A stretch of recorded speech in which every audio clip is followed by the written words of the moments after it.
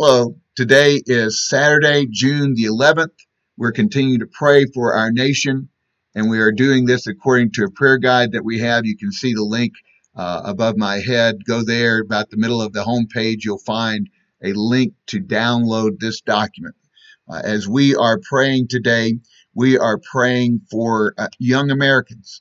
Young Americans, according to our prayer guide, are going to uh, emergency rooms at a uh, 31% increase uh, during the two years of the pandemic. Let's pray. Father, we come to you asking that you protect the lives of young Americans. Lord, increasingly they are going to emergency rooms, some of them because they are attempting suicide. Father, I ask that you would deliver them from the uh, strategies of the enemy and that they would turn in their desperation to you and find you to be the Prince of Peace, the author of life. And I thank you and praise you for doing it in Jesus' name. Amen. I encourage you to join us again tomorrow as we also uh, pray, continue to pray for the United States. Amen.